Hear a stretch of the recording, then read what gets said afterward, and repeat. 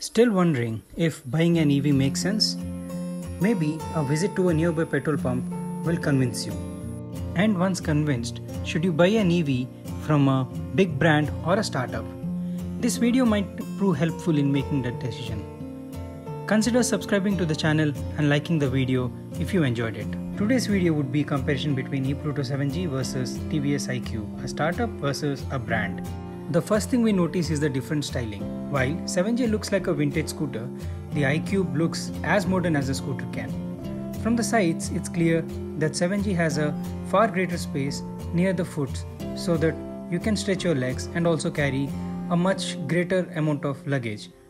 The very first thing you notice on the iQube is the LED DRLs, followed by the LED headlamp unit. On the sides, the iQube has the iQube logo along with the electric word engraved. The iQube has a rear parking feature and the rear proudly shows off the badge. So if you want to reverse your vehicle, it is assisted.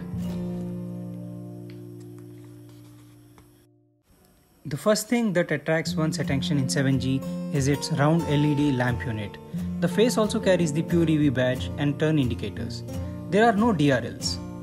The side has the 7G badge and the rear continues with the vintage look as the vintage looking tail lamps. The odometer of iQube is bright and easy to read even under direct sunlight.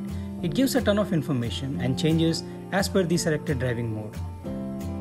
In comparison, the odometer of 7G can be described as utilitarian at best.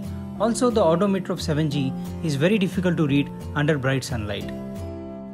The under-seat storage of iQube is decent and can accommodate a half-faced helmet.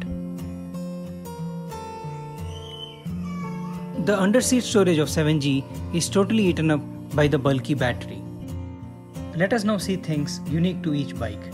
The 7G has a longer range and easy way of charging thanks to its removable battery, whereas iQube has better build quality, informative odometer, good servicing network, brand value and Bluetooth connectivity. Time to answer the question which EV to buy? Well, it boils down to the price factor. 7G is available from anywhere between 85,000 to 90,000 rupees ex showroom, whereas iQube would cost you over 1 lakh.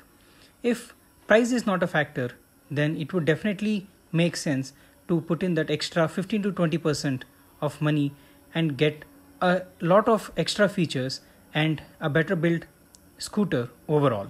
With the prices of EV stabilizing, it would definitely be a wise choice to go for a branded bike.